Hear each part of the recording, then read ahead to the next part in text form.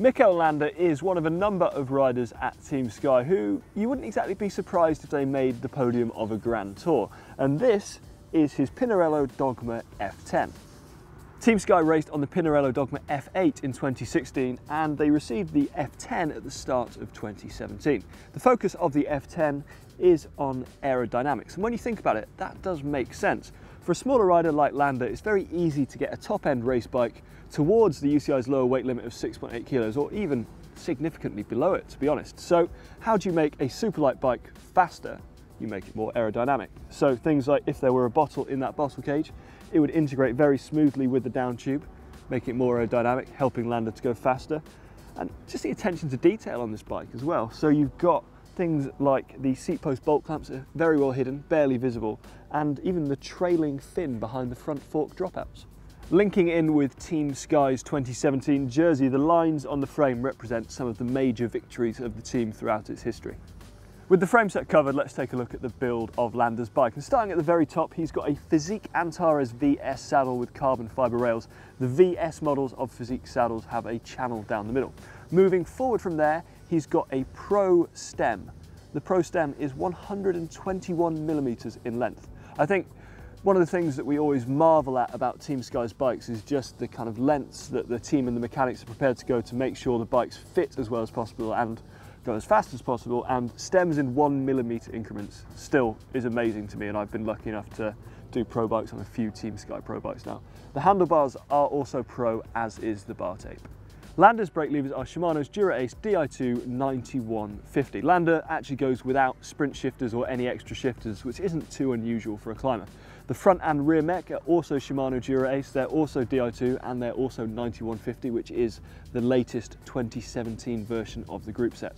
Landa's brakes are Shimano Dura-Ace 9100 and they are standard mount. His chain set is Shimano Dura-Ace 9100, as are his pedals. I actually really like the look of the new Shimano Dura-Ace pedals.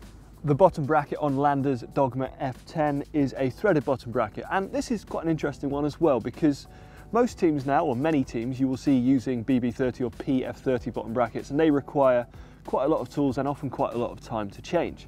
This slightly older style of bottom bracket, Team Sky went back to at the start of 2014 because their marginal gains philosophy goes further than just the riders. It also applies to mechanics and the mechanics save a whole bunch of time changing and replacing these bottom brackets compared to a BB30 bottom bracket.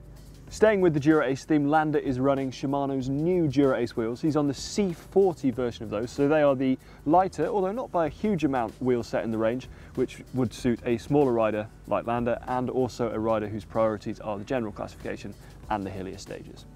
The wheels are tubular and they are shod with Continental Competition Pro ALX tubular tyres which are 25 millimeters wide. The one on the front actually looks brand new, like it hasn't even been ridden yet. With most of the build covered, let's have a look at a few of the finishing details. And one of the things I do quite like about the Dogma F10 frame set is just how neat the Shimano Dura-Ace junction box integration is up on the down tube. I think that's pretty cool. And at the front, the mechanics have used heat shrink wrap just to keep the Di2 wires tidy and keep them close to the brake levers and to avoid any unnecessary damage. Bottle cages on the bike are provided by Elite. With all that covered, it's time for some vital statistics. Landa's tyres come in, according to our calipers, at around 24.7 millimetres wide. His saddle height is 70 centimetres and the reach from the nose of his saddle to the centre of his stem is around 54 centimetres. His stem, like we mentioned earlier, it's very clearly marked, is 121 millimetres and his handlebars are quite narrow, they are 40 centimetres wide centre to centre.